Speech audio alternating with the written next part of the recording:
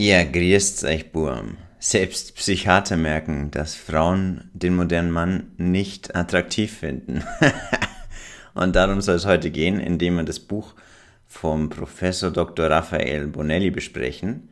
Frauen brauchen Männer und umgekehrt. Also sehr interessant, vor allem die Couchgeschichten, die er hier ja anonymisiert mit geänderten Namen anspricht und eben hier in diesem Buch widerlegt, wollen wir das heute mal unter dem Aspekt der Red Pill genauer beleuchten. Und damit kommen wir doch gleich mal zu der ersten Geschichte, die er hier schreibt, nämlich ja, erstes Kapitel, was Shades of Grey offenbart. Das sehen wir ja, die Verkaufszahlen sprechen ja schon quasi für sich. Ein Buch von einer Frau für Frauen, von Frauen gewollt, aber wird halt oftmals dann weggeleugnet. Hier in seinem Fall 1 sehen wir aber dann genau das, nämlich der Arsch mit dem Sexappeal. Frau Denise Ü ist seit Jahren mit dem gleichaltrigen Büroangestellten Michael zusammen. Er ist ein sehr guter Mensch, aber ich begehre ihn nicht mehr. Wir haben eine freundschaftliche Basis, aber ich will ihn nicht mehr. Seit Monaten haben wir keinen Sex. Vor zehn Jahren war alles anders. Aber da waren wir auch 22. Wir haben keine Kinder das habe ich auch immer herausgezögert. Und da sehen wir schon, hier, damals war er wahrscheinlich noch mehr dieser dominante führende Alpha und jetzt er total betaisiert. Deswegen hat es ja auch diesen hypergamen Zweifel gehabt, dass dieses Kinderthema herausgezögert wird, weil eine Frau sich ja hier immer fragt, ist er wirklich der beste Mann, den ich hier mit meinem eigenen Marktwert anziehen kann? Und wenn das halt nicht der Fall ist, wenn er nicht äh, hier wirklich der ist, wo sie glaubt, okay, besseren Deal kriege ich hier nicht aus dem Datingmarkt raus, dann sehen wir immer wieder solche Dynamiken. Er schreibt weiter, dann wird sie leiser. Ich habe seit zwei Jahren eine Affäre mit meinem Ex-Freund Klaus. Der ist verheiratet und hat zwei Kinder, drei und fünf Jahre alt. Wir verstehen uns gar nicht, aber es gibt eine immense körperliche Anziehung. Das ist ja das, wie letztens auch besprochen, dass die Likability von diesen Bad Boys, von dominanten Alpha Bad Boy, eben nicht da sein muss, aber sie findet ihn trotzdem intrinsisch heiß. Und das ist ja immer wieder genau diese Dynamik, wo man auch in der Red Pill sagt, der Alpha-Mann hat den Spaß kurzzeitig, der Mr. Sexy und der Langzeitversorger ist dann hier der Depp vom Dienst. Er braucht mich nur anzufassen und ich bin erregt. Was er alles mit mir macht, ist schlichtweg atemberaubend. Er hat mich total in der Hand. Hm, das ist ja totaler Sexist, dieser Typ. Das geht ja mal gar nicht. ich habe meinem Lebensgefährten gesagt, dass ich eine Auszeit brauche. Deswegen ist er vor drei Wochen zu seiner Schwester gezogen. Ja, das ist ja oftmals, ja, du, ich brauche Abstand, ah, ich brauche eine Auszeit. Sowas steckt oftmals dahinter, niedriges Interessenslevel. Michael tut mir sehr leid, er liebt mich sehr und ist zu allem bereit. Es fehlt mir, Dinge mit ihm gemeinsam zu machen. Ja, ist gemein, aber so läuft es halt auf dem Datingmarkt sehr häufig. Mit Klaus streite ich oft. Er ist ein richtiger Macho und seine Frau schluckt alles runter. Ich lasse mir das nicht gefallen.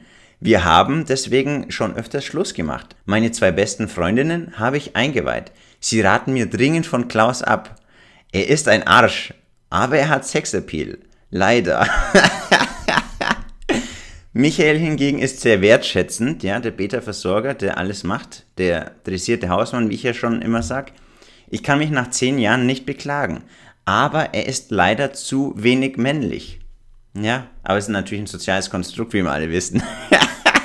er kann nicht auf den Tisch hauen. Vielleicht brauche ich das. In unserer Partnerschaft bin ich die Dominante. Ich sag, wo es lang geht.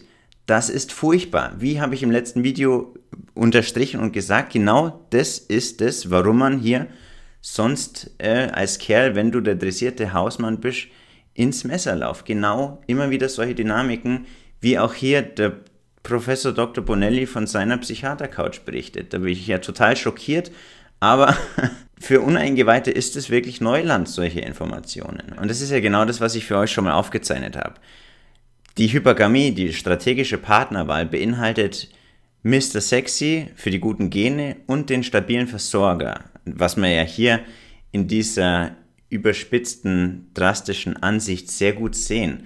Am besten ist natürlich, wenn der Mann beides in einem ist, aber vor allem mit den modernen Männern, wie hier gesehen, gibt es natürlich immer weniger. Und da sehen wir bei diesem Mr. Sexy in dem Fall dieser Arsch, der Klaus, Männlichkeit, Sexappeal, Konfrontationsfähigkeit. Ja, da muss nicht immer, oh, der ist ja so sympathisch, der ist ja so nett. Eine Frau mag lieber diesen führenden Typen, wie wir ja gerade gesehen haben. Physikalische Attraktivität, Fitness und praktische Intelligenz. Aber hier sehen wir ja, der kann führen, der kann auf den Tisch hauen. Das findet sie, wie auch eine Masse an weiteren Frauen, sehr interessant. Währenddessen halt der Beta-Versorger dann höheren Status, höheres Einkommen, liebevoller Partner ist, guter Vater, emotionale Stabilität, reife ergeben und loyal, alles Aspekte, aber die reiben halt nicht an dieser intrinsischen Anziehung. Das kann man sich sehr gut vorstellen, wie es, wenn man jetzt an einem Produkt interessiert ist. Da gibt es ja auch bestimmte Interessenslevel, dass die Leute vom Apple Store schon um 6 Uhr in der Früh zelten,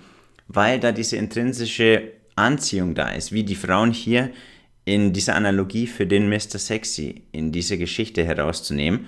Und der Beta-Versorger, das ist eher dieser Aspekt im Geschäft, dass man sich dann um den Kunden im Nachhinein kümmert, also die Kundenbetreuung. Aber das Produkt an sich muss ja immer noch interessant sein, weil was bringt die beste Kundenbetreuung, wenn das Produkt nicht interessant und spannend ist? Hier der Mr. Sexy in diesem übertragenen Beispiel. Zurück zum Text. Seit zwei Tagen bin ich jetzt wieder von Klaus getrennt. Er ist nach zwei Wochen mit mir wieder zu seiner Frau zurückgegangen, angeblich weil seine Kinder fragen, wann er wiederkommt. Er sagt, er brauche noch Zeit. Er hat mich schon so verletzt, wie er mit mir redet, wie er mit mir umgeht. Das ist respektlos. Er ist ein unglaublich negativer und unglücklicher Mensch. Er unternimmt nie etwas mit seiner Frau, ist immer alleine unterwegs. Ja, das sehen wir auch diese Grunddynamik. Eine Frau teilt sich lieber hier diesen bösen, respektlosen Arsch als mit diesem Langweiler Beta-Versorger halt leider zusammen zu sein. Auch wenn sie das nicht möchte. Sie versucht es ja, wie wir jetzt dann sehen, mit ihrer Vernunft dauernd zu regulieren. Aber diese intrinsische Anziehung, die sich hier gegen diese Männlichkeit gegenüber, hier mit dieser Toxizität in Verbindung trotzdem empfindet, lässt sich halt leider nicht, ja, unter den Tisch kehren. Mit Michael habe ich im Grunde ein super Leben. Es fehlt uns nur mehr ein Kind, aber das schiebt sehr auf. Warum? Hm? Liegt ja sehr nahe. Viele Freunde beneiden uns wegen unserer harmonischen Beziehung und das ist auch mal so eine Dynamik, sowas sieht man im Außen ja oftmals nicht, weil er der moderne Mann, oh, der trägt sie auf Händen und Augenhöhe und der ganze äh, Crap. aber sehen wir ja, was immer und immer wieder rauskommt. Exakt das gleiche habe ich auch damals bei Metin als Ex-Zurück-Coach immer und immer wieder gelesen. Ich könnte jetzt zu Metin fahren, in die Datenbank äh, schauen, ja, die Fälle ein bisschen ändern, die Namen ändern, aber der O-Ton ist exakt immer wieder dieser hier. Und da schreibt dann auch der Dr. Bonelli dazu, erstaunlich, dass Frau Ü von Klaus nicht lassen kann, obwohl er sie so schlecht behandelt. Ihre irrationale, völlig unvernünftige Handlungsweise ist ihr durchaus bewusst, ja, wir sind doch völlig über unsere Triebe erhaben, habe ich gedacht. Trotzdem ändert sie es nicht. Wir Menschen sind so. Häufig finden Psychiater Menschen in Beziehungen vor, die ihnen nicht gut tun. Der einzige Schutz vor vollständigem Kontrollverlust ist für Denise, dass sie im Grunde in einer glücklichen Partnerschaft lebt. Das ist aber der Beta-Versorger. Ihre Bauchgefühle, mit denen es sie zu Klaus hinzieht, stehen im krassen Gegensatz zu ihrer Einsicht ihrer Vernunft, dass der fremde Mann kein guter ist. Frau Ü widersetzt sich zwar Klaus Grobheit scheinbar und streitet viel mit ihm, aber es zieht sie dann doch magisch zum Aggressor zurück. Ihr Lebensgefährte Michael ist nach ihrer Beschreibung ein guter Mensch und idealer Partner. Wenn er ihr nicht ein wenig fad und vor allem zu wenig männlich wäre, ja? Wie habe ich es gesagt? Das ist das Kernproblem auch des modernen Mannes und warum halt Frauen immer wieder hier die dominanten Männer wählen. und das zeigt sich ja auch immer wieder in diesem Zeitgeist von Fifty Shades, das schreibt er ja hier auch, dass ja hier dieser narzisstische Millionär, der so sadistisch, egoistisch, rücksichtslos, frauenfeindlich auch ist und machistisch bis zum Anschlag. Aber diese Anastasia es dann doch irgendwie toll findet, wenn er grob und männlich ist, ja. Wie vorhin gesagt, Frauen nehmen dann lieber hier diesen ultra überspitzt toxischen Mann, als mit diesem ultra netten, ja, hausdressierten zusammen zu sein. Oder zumindest sind sie dann mit dem zusammen, aber den Spaß holen sie sich dann außerhalb. To go versteht sich. Der Fall 2, den er beschreibt, ist auch sehr interessant, wo man ähnliche Dynamiken nur in anderer Erscheinungsform sehen. Nämlich die 31-jährige Tanja A. berichtet über ihre Partnerschaft. Ich hatte früher mehr sexuelles Interesse als er. Das kann daran liegen, dass ich fünf Jahre jünger bin. Ich wollte täglich Sex, er nur ein bis zweimal pro Woche. In der Zwischenzeit hat sich das auf zweimal pro Monat eingependelt. Oftmals eine Dynamik, wenn er hier nicht mehr der führende Typ ist und sich immer mehr hier ihr anpasst. Ja, Schatz, oh ja, du hast so recht, Augenhöhe, Augenhöhe, ich mache jetzt sofort die Waschmaschine für dich, gell? das ist jetzt für mich okay. Wir sind ja schon acht Jahre zusammen. Der Sex ist, wenn er dann mal stattfindet, erfüllend und harmonisch. Er überrascht mich mit neuen Ideen, das mag ich sehr. Anfangs war er da sehr passiv und scheu und ich war experimentierfreudig. Das hat ihn in Panik versetzt. Ich habe ihn überrollt, jetzt habe ich ihm die Führung überlassen, weil er das braucht. Eigentlich war ich nur deswegen experimentierfreudig, weil er das nicht war. Und da sehen wir hier auch diese Grunddynamik. Als Mann muss man von sich aus einfach hier, vor allem wenn es um die Bettgeschichten geht, die Führung übernehmen und nicht sie dazu bringen, dass sie das erst sagt, okay, du brauchst es ja, gell, das ist nämlich das Kapier's doch einfach Prinzip. Eine Frau möchte, dass der Mann schon so ist und nicht, dass das erst im Dialog ausgesprochen wird. Das ist wie, als würdest du jemand sagen, du, äh, hab mich doch ein bisschen mehr lieb und so weiter, sag mir das doch mehr. Zählt einfach nicht. Das gleiche ist, wenn eine Frau einem Mann sagen muss, dass er mehr männlich sein muss, Genau wegen dieser kapierst doch einfach Dynamik. Ich habe Shades of Grey gelesen und dann auch alle drei Teile 50 Shades of Grey gesehen. Das ist natürlich total super für eine Frau, ein echter Frauentraum dass er seine sexuelle Fantasien an mir auslebt. Nur an mir, nicht an anderen Frauen. Das ist auch eine wichtige Grunddynamik, die man immer wieder verstehen muss. Eine Frau möchte diesen ultra heftigen Alpha-Typ, der oben in der Dominanzhierarchie ist und von anderen Frauen gewollt wird, also die Möglichkeit hat, was mit anderen Frauen anzufangen, aber es nicht tut, weil er nur Augen für sie hat. Das ist genau diese goldene Mitte, die Frauen halt immer wieder hier wollen und im Fifty Shades of Grey von dieser Autorin perfekt dargestellt wird. Ich brauche schon Führung. Ein Macho oder ein Möchtegern ist ein No-Go und das ist, wie wir letztens auch gesehen haben, Dominanz versus die Autorität, markiere ich auch nochmal oben. Aber wenn einer selbstbewusst und intelligent ist, das ist wahnsinnig attraktiv für mich. Das haben wir auch sehr gut dann in diesen Studien gesehen. Das hat mein Freund an und für sich alles, aber er beklagt sich relativ häufig über seinen Chef die Arbeitsbedingungen, die Kollegen und so weiter. Unter uns, sein Jammern ist verdammt unsexy. Wie oft habe ich das denn bitte schon gesagt? Genau diese Dynamik, da sagen die Frauen, oh, ähm, offene Kommunikation ist so toll. Und dann packt er aus, wie wir ja hier sehen, findet es dann, wenn sie es nämlich soweit haben, dass er dieser betaisierte ist und dann sagt, oh mein, weißt du, Chef, diese resignative Schwäche finden Frauen unsexy weil sie halt auch für diese Langzeitbeziehungen auch immer wieder diesen stoischen Mann präferieren. Warum sind wohl Männer so mehr in sich gekehrt, mehr stoisch? Genau wegen diesem Aspekt der sexuellen Selektion, wie wir ja hier sehr schön entnehmen können. Und das ist eben so wichtig, dass man das im Vergleich zu der Blue Pill Masse sich integriert und erkennt, weil ansonsten, egal ob man jetzt kurzzeitig, mittelfristig oder langfristig was mit Frauen am Laufen hat, kommt man auf solche Dynamiken und stoßt dann letztendlich in so ungute Situationen rein, wo halt dann auch die Männer meistens dann die gepeitschten sind, wie wir im Fall 1 gesehen haben, nämlich nur der Depp vom Dienst, der halt hier für die emotionalen Bedürfnisse, für die finanziellen Bedürfnisse, ja, und für dieses Miteinander, ja, komm, du Kaffee trinken und dann geht sie wieder zum anderen und hm, da ist es dann sekundär, oh, mei, der hat eine Frau und zwei Kinder, aber wurscht, weil diese intrinsische ja, Attraktivität solchen Männern gegenüber einfach so schwer durch Vernunft wegzuregulieren ist. Und da schauen wir uns nochmal den letzten und dritten Fall an, fand ich auch sehr spannend, wo es ja wirklich um diese nochmal Verzweiflung, resignative Schwäche geht, dass das eben Frauen halt,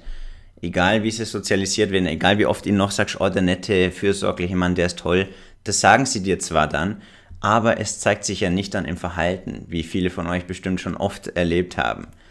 Der Südtiroler Reinhard P., 34 Jahre alt, kommt zum Psychiater, weil er nicht mehr schlafen kann, einen ganz starken Herzschlag verspürt, keine Entscheidungen mehr treffen kann und insgesamt nicht mehr der Alte ist. Eine Hypnosetherapie zeigte auch nicht den Erfolg, den er sich davon erhofft hatte. Er sei acht Jahre lang ein äußerst erfolgreicher Geschäftsmann in London gewesen, berichtet er. Aus Liebe zu seiner Verlobten Sophie sei er vor einem halben Jahr nach Mailand gegangen. Beta Baby! Großes Fauxpas, weil hier, goldene Regel vom Tomassi, Nummer 1, dass der Frame eben alles ist. Und wenn er hier ihr hinterherzieht, schaut er ja zu ihr hoch, ja, Schatz, ich, ich gebe meinen Job auf, ich ziehe dir hinterher, finden Frauen einfach sehr unattraktiv, führt zu einem Sexualitätsabfall mit den damit einhergehenden Dynamiken. Ja? Beziehung, Streit wird häufiger, Oxytocin-Levels sinken und so weiter und so fort. Keiner seiner Kollegen hätte diese Entscheidung verstanden. Dort nahm er einen relativ uninteressanten Job an um mit Sophie eine Familie zu gründen und mehr Zeit für die Liebe zu haben. Aber seine Verlobte sei im Moment in Frankfurt und mache keine Anstalten nach Mailand zu ziehen, obwohl sie von dort stamme, ja? Niedriges Interesse, er ist nicht dieser führende, dominante Typ, weil er ja dieses Verhalten zeigt, finden Frauen unsexy, kein Interesse, warum sollte sie denn dann zu ihm gehen? Das ist wie vorhin gesagt das Beispiel mit diesem Produkt, was dadurch total uninteressant wird. Äh, das ist so ein allgegenwärtiges Ding, juckt mich nicht. Genau diese Dynamik, weil es ja im übertragenen Sinne auf diesem Datingmarkt dieser dressierte Beta ist, in der Erscheinungsform des modernen Mannes. Seit ich bei der schrecklichen Mailänder Firma begonnen habe, führe ich kein Leben mehr. Ich habe mich aus rein emotionalen Gründen für diese Firma entschieden. Ich wollte zur Familiengründung immer nach Mailand, in die Stadt von Sophie. Ich suche schon andere Jobs, habe aber Angst, Italien zu verlassen und damit so viel zu verlieren. Ja. Verlustangst, vor allem seitens der Männer, führt natürlich in diese Abwärtsspirale. Da wirklich, deswegen Fernbeziehung absoluter Schwachsinn. Da schaut man lieber, dass man was hier aus der Region bekommt. Man soll ja immer regional einkaufen, wie ihr alle wisst. Beruflich habe ich die letzten zwei Monate ehrlich gesagt verschissen. Das ist es wert, wenn nur die Ehe klappen würde aber unsere Beziehung ist in der Krise. Ja? Und das ist genau diese Grunddynamik. Wenn der Mann nicht mehr seiner Bestimmung hinterherläuft und die an erster Stelle packt, sehen wir, dass genau solche Beziehungsdynamiken herauskommen. Denn wie heißt der alte Spruch schon so schön? Du verlierst Geld, wenn du Frauen hinterherläufst, aber niemals Frauen, wenn du Geld hinterherläufst. Und das lässt sich natürlich auch hier Geld mit Lebenssinn oder Zweck, ja, Yogi-Lehrer auf Bali, was weiß ich, diesem ersten Ziel, was man sich als Mann hier eben setzt, immer an erster Stelle zu halten, weil dann kommt es auch nicht zu solchen ungesunden Dynamiken, wo er hier wie so ein Dackel seiner Herrin hinterher zieht. Mit Sophie sei er seit acht Jahren zusammen und diese Beziehung sei leider immer eine Fernbeziehung gewesen. Oh, da haben wir schon. Seit zwei Jahren seien sie verlobt, in zehn Monaten wollen sie eigentlich heiraten. Ja, wie soll das wohl funktionieren, wenn sie kein Interesse hat an dem Hausdackel?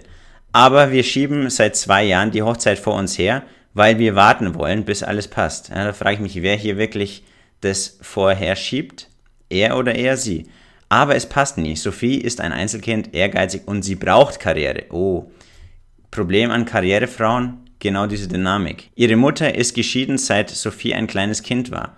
Ihr Rat an ihre Tochter sei immer selbstständig, vertraue nie einem Mann. Und das ist auch so wichtig, dass man hier immer die Familienstruktur anschaut, ja, welche Glaubenssätze, Überzeugungen werden vom Elternhaus her hier dieser Frau gegeben, führt halt leider dazu, dass die dann denken, ah, oh, Karriere, Karriere, Karriere und dann hier Hochrisikoschwangerschaften ab 35, 40 plus und das Aussehen, also die primäre Anziehungsquelle, die damit einhergehende Fertilität sinkt ab. Männer, vor allem die hochwertigen, die ja diese Karrierefrauen selber haben wollen, finden sie dann halt leider nicht mehr interessant, wo sie halt meistens in der Endhaltestelle Katzenlady dann hier enden. Ist halt leider wahr, aber vor allem die Frauen müssen halt hier diese Narrative dann auch hinterfragen, weil es eben Bullshit ist. Vor allem, wenn Familienplanung hier wichtig ist in diesem Kontext. Das hat Sophie immer mehr verinnerlicht, ja. Am Anfang unserer Beziehung war das noch nicht so. Meine Gefühle für sie sind in der Krise verschwunden. Und das merkt sie. Und da ist ja auch diese Dynamik, man muss als Kerl hier Schlussstrich ziehen, aus und was Neues suchen, weil das ist einfach Schwachsinn. Erstens die Dynamiken, zweitens die Fernbeziehung, drittens diese Symbiose mit der Mutter, wo sie ja schon das erweiterte Selbst, ich 2.0, aka narzisstische Erweiterung der eigenen Mutter ist, ungute Verstrickungen. Ich verrecke in Mailand, vor allem wenn ich alleine bin. Ja, auch ein großes Problem, Männer können heutzutage ja gar nicht mehr alleine sein, weil sie dann gleich das Gefühl von Einsamkeit empfinden. You still live with your mother? Yeah. Beta! Das ist ja auch eines der wichtigsten Sachen. Zuerst muss man ja lernen, alleine zu sein, dass man auch mit anderen klarkommt, weil sonst kommst du ja da ständig in solche Co-Abhängigkeiten rein. Ich warte, aber Sophie gibt kein Signal zu kommen, ja? Low Interest. Sie sagt, jetzt muss sie erst einmal Karriere machen. aber wenn jetzt der Leonardo DiCaprio oder ähnlich da wäre, wo, na, ich brauche keine Karriere. Wo ist der Typ? Wir machen sofort zehn Kinder. Sehen wir auch sehr oft, Frauen erschaffen Regeln für Betas und brechen sie für Alphas. Wenn sie nicht kommt, muss ich weg aus Mailand, weil ich beruflich vor die Hunde gehe. Aber sie hilft mir nicht bei der Entscheidungsfindung. Es ist ja auch nicht die Mama, man muss als erwachsener Mann hier solche Entscheidungen selber treffen. Es geht um den Ort meines nächsten Jobs. Ich will in ihrer Nähe sein. Sie sagt immer nur, das musst du selber wissen, ja? Richtig. Du musst allein entscheiden, das geht mich nichts an. Hör auf zu flennen. Das ist immer wieder die Verzweiflung, dieser größte Kernaspekt, was Frauen ultra unattraktiv finden. Egal wie subtil das auch kommuniziert wird, ja, hey, äh, irgendwie sowas, das riechen Frauen 10 Meter gegen den Wind, so einen Durst, total unattraktiv. Diese Kälte macht mich fertig. Wir müssen doch gemeinsam entscheiden, wo wir unsere Familie gründen. Und da sehen wir halt auch immer wieder diese Dynamik, dass die Männer hier die Ersatzmama suchen, die dann das halt entscheiden sollen. Aber wie wir an diesen ganzen vorangegangenen Geschichten gesehen haben, wollen Frauen in Wirklichkeit halt leider nicht diese resignative Schwäche, Verzweiflung, sondern den führenden, dominanten Mann, ja, proaktives Führen, geniales Wort vom Henry, hier immer wieder auch aus diesen Couch-Geschichten vom Professor Dr. Raphael Bonelli zu sehen. Es ist halt leider eine gesellschaftliche Seuche mittlerweile, dass diese modernen Männer leider halt auch durch die ganze Betaisierung der Gesellschaft, durch diese Messages, die sie kriegen in den Massenmedien, ja, auf Augenhöhe und du bist schon netter, gell, dann funktioniert es schon. Naja, mit diesem Blue-Pill-Schwachsinn kommst du dann halt leider nicht weit, wenn es vor allem um die Kommunikation und erfolgreiche Anbandeleien mit den Frauen geht. Und in diesem Sinne hoffe ich, dass ich euch das näher bringen konnte. Wenn es euch gefallen hat, liken, kommentieren und abonnieren. Wir sehen uns. Vierzeig.